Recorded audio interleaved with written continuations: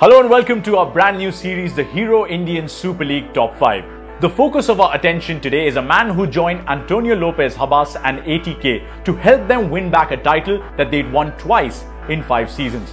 Now, Roy Krishna is a man from Fiji, but he'd already won the Golden Boot Award in the A League in the season 2018-19, along with which he also won the Most Valuable Player Award in the same season. Now, obviously, he promised a lot of goals, and boy, did he deliver with 15 of them. Today we bring you the top 5 goals scored by Roy Krishna in the season 2019-20 in the Hero Indian Super League. At number 5, we've got his equalizer against Mumbai City FC. Now the resilient Islanders were on the cusp of a second away win in 4 games, having gone unbeaten all this while. But Roy Krishna with one swing of his weak foot produced the equalizer and clinched a vital point for the two-time champs. Fourth official. This could be the last throw of the dice. Krishna! Yes! Oh, I love football! The young lad who's been impressive all night, Sarthak Golui.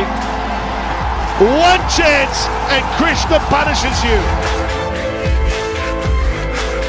What a thrilling game and a fitting finale courtesy of Roy Krishna's fantastic finish. Right, on to number 4 then and this one moves us from the Islanders to the goal that he scored against the Highlanders that is Northeast United FC.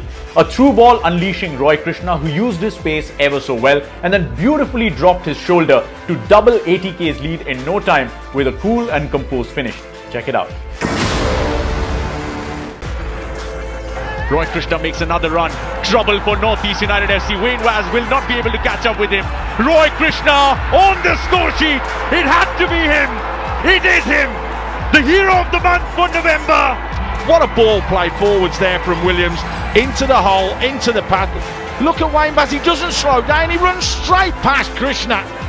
But no chance for the defensive keeper was there once Roy Krishna was on the ball. It would also turn out to be the first time ever in the history of the Hero Indian Super League that ATK were going to put three goals past Northeast United FC.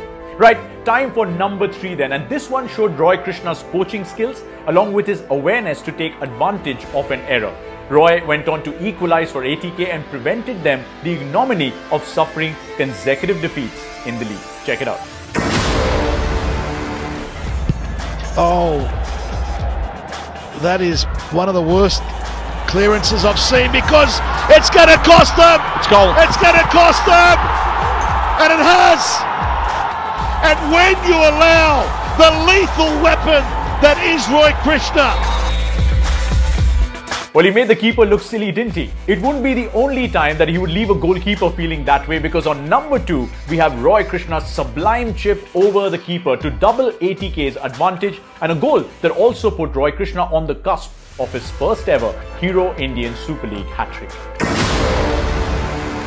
A Fijian making a mark as well. He'll try and make his mark again now. We know he's got the pace. Has he got the ability to clip the keeper?